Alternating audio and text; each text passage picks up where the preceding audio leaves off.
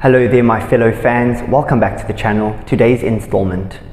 Prince Harry and Meghan Markle have still not confirmed whether they will be attending King Charles's coronation, and one concern for them, a negative reaction on the ground.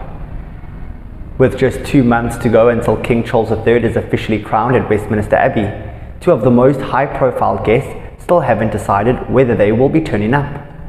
Prince Harry is still in talks with officials at Buckingham Palace over his father's coronation celebrations in May, with him and his wife Meghan Markle reportedly upset that the focus of the talks is very much on their presence.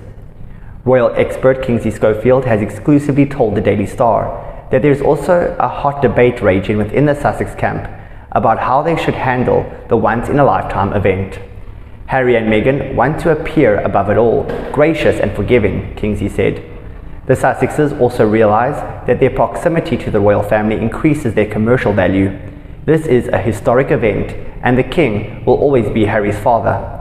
With that being said, there is a general awareness that attendance at the coronation could be deemed hypocritical by their core fan base.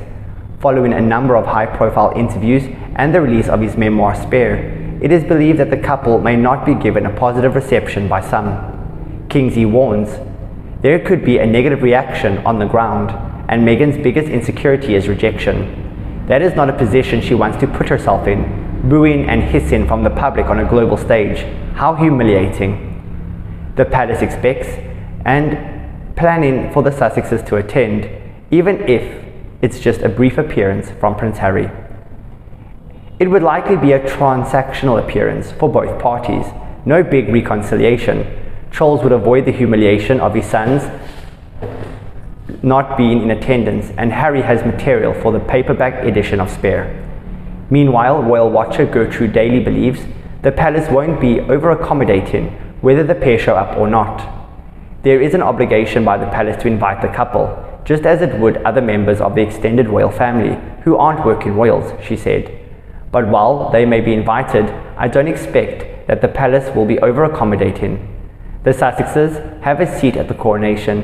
It is their choice if they want to attend, but the royals are not going to bend over backwards to get the Sussexes there. They have accepted the Sussexes have departed and are doing their own thing, and the monarchy is continuing on without them. Alright, there you have it guys. Royal news done and dusted. Like, comment and subscribe. Goodbye for now.